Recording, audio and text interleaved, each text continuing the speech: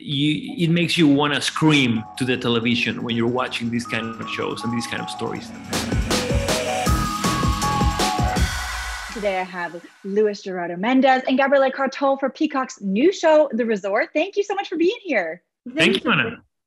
So, your characters are kind of at the heart of this mystery. And I know you can't really spoil what happens, but can you tell us a little bit about them and how we'll get to meet them as we kind of investigate?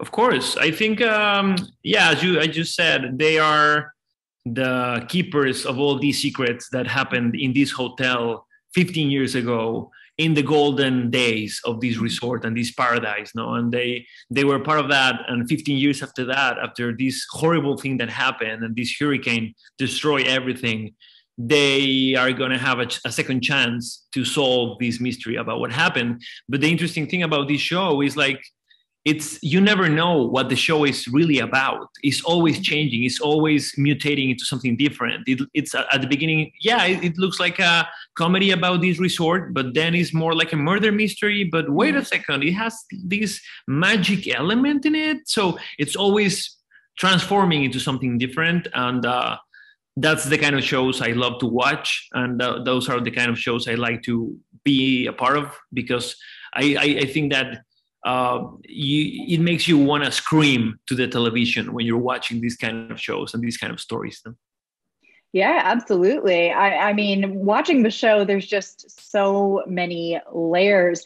As you were filming it, did you know 100% what was going on, or were you kind of like getting new scripts in and figuring it out? Yeah, we're getting new scripts each time. And sometimes every hour. Every yeah sometimes every day every hour. And I'll also one of the things that i love about this show is the exploration of human relationships. And uh, in my case for me to have a partner in crime with Baltasar i think it was one of, of the most uh, the things that i enjoyed the most as well to have this uh, questioning about friendship about love about the past about the present and what you what you were and what you are now. And i i just love that. Yeah absolutely. I was going to say there are so many themes about the past and the present and how they all kind of collide in that. Did you personally each take something kind of away from the script about that that you could share with us? Um yeah i guess um I, I thought it was very interesting how you never really know when you're living the golden days of your life, mm. you know, which is kind of sad and scary. Yeah. but but there's also something very beautiful about being able to enjoy every stage of your life and taking these sec- second chances to rediscover love, to rediscover uh, finding who you are, solving a mystery of I don't know, Baltasar is obsessed. My character is obsessed with these detective novels to the point that he wants to be a detective.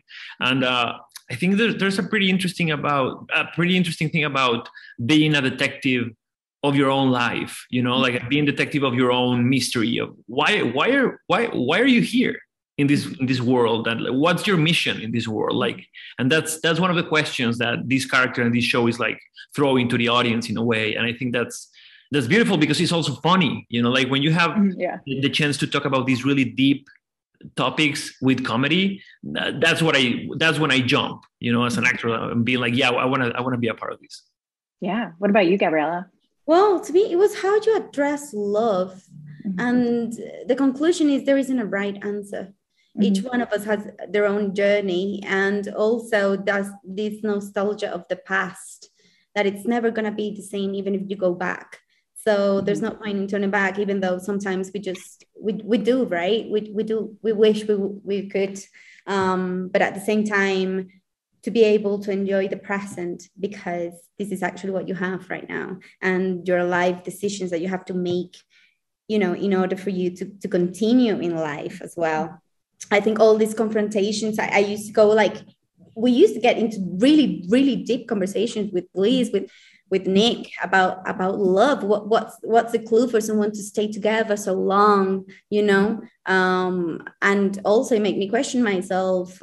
Am I in in in, in my relationship? You know, and there isn't a right answer. I think I guess it's a journey, and it's like Noah and Emma. They're questioning also their their marriage, and at the end of the day, they do complement each other.